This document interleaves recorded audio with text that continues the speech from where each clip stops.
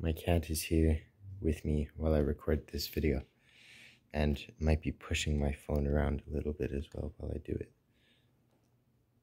This is Chia. He is a little gremlin when he wants to be. And he doesn't like phones. Anyways, I'm on page 10 of writing now.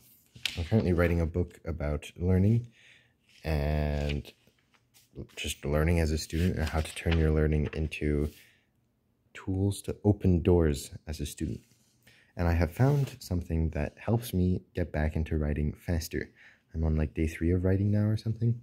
And so I don't have a lot of experience, but something I have found to help a lot with getting back into writing quickly is to stop my previous writing session mid word. Not just mid sentence, mid word. Because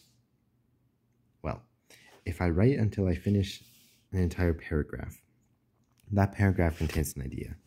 Next time I want to get to writing, I need to read that paragraph again, understand the idea, then remember what the next idea was, and then I can figure out how I want to start that, and then keep writing. If I stop mid sentence, that sentence at least holds part of an idea. And once again, I need to read that sentence, understand where I was going with my paragraph, and then write the next sentence.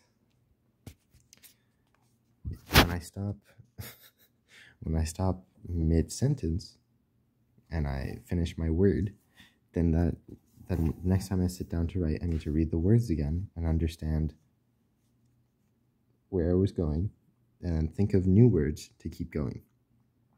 When I stop mid word, I read the words from the sentence. I know exactly where I'm going because I the barrier to entry is so low to start my next writing session. It is to pick up my pen and then write the next letter of the word.